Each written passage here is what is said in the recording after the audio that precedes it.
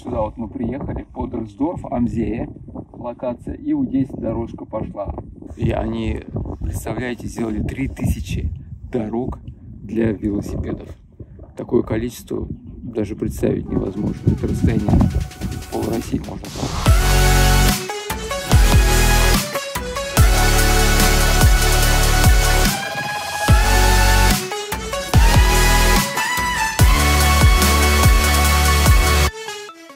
Модная фиолетовая команда. Фиолетовая команда. Фиолетовая команда, да. Вон там ребята отдыхают за кустиком. А вот и беда-беда. Короче, что произошло, рассказываю. Как это получилось. Видите, сорвало полностью. Я вот этой вот веревочкой тянул дочу на, за собой, чтобы она хотя бы это в темпе в нашем ехала. Но ей было тяжело, она устала.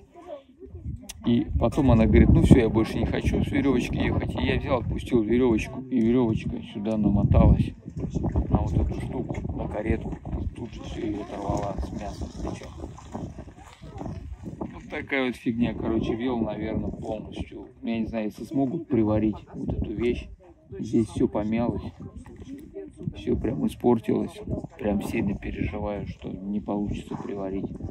В общем, завтра в сервис, послезавтра будем смотреть, что с ним делать.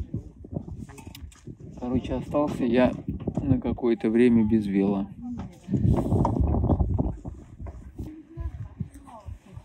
А это, короче, как мы сделали? Мы ехали втроем на великах. Велик сломался, тащить его получается невозможно. Я хорошо было три велика на мамином велике. Загрузил его, поехал на парковку где-то километров 6-7. Ну, за полчасика я доехал даже быстрее, наверное, на полной скорости. Загрузил на прицеп его, приехал сюда. Хорошо тут было место. Это, кстати, очень повезло. Дали, согласись, нам повезло, что это место позволяло подъехать на машине. Да, что большая редкость. Кстати, парни едут. Что большая редкость. На, я на машине сюда приехал. То есть место вообще уникальное, что здесь есть и парковка для машины, и трасса проходит. И машины могут ехать, и велосипедисты. Вот. В основном так не бывает. Либо отдельно машины, сами понимаете, либо отдельно вело. Вот. Сейчас небольшой будет у нас перекус и поедем дальше.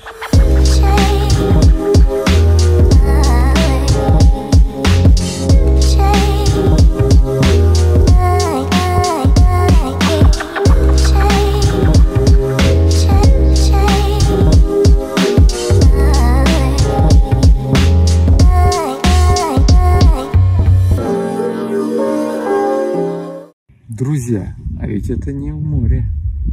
Это Нойзидлерзее. Смотрите, какая красота. Берега почти не видно. Солнце заходит, скоро будет закат. Там вот даже маяк есть. Маяк. Ну, наверное, единственный, кстати, маяк на этом озере. Такой самая главная большая деревня. Тишина, покой, красотища. И над этим озером самолеты постоянно летают. На посадку в Вену заходят. Сейчас только что грузовик пролетел. Грузовой самолет из Алматы в Вену летит. Карго.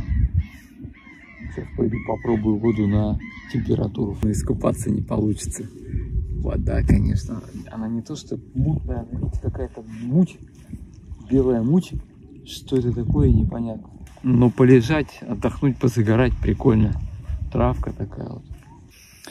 В общем, что я хочу сказать. Как умеют люди классно организовать пространство вокруг, э, казалось бы, простого, некрасивого визуально озера. Именно вот э, инфраструктуру вот эту вот э, делают, которые можно потом привлекать туристов и детей, и родителей, и там и пенсионеров, то есть ну, все, наверное, может быть, кроме там молодежи, которым нужны ночные клубы, вот этого, может быть, нету, скорее всего, и то не факт.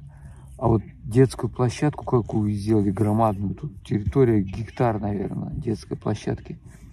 Это поразительно. Так, уговорили меня в трубу спуститься. Не знаю, что с этого получится. Ну, попробуем проехать. Посмотрим. Погнали. Вау, вау, вау. Вау.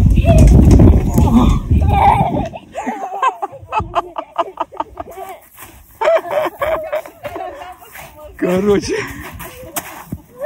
Значит, как это было? Рассказывай. Я говорю, я не поеду, нафиг, нафиг. Милешка такая говорит, я тоже, я тоже боюсь. А потом такая Милеша говорит, короче, пап, пап, говорит, я тоже сначала, говорит, боялась. Пойдем вместе. говорит. Ладно. Я, говорит, помогу тебе преодолеть страх. Шестилетняя дочь, говорит, преодолеть страх поможет. Полез в трубу.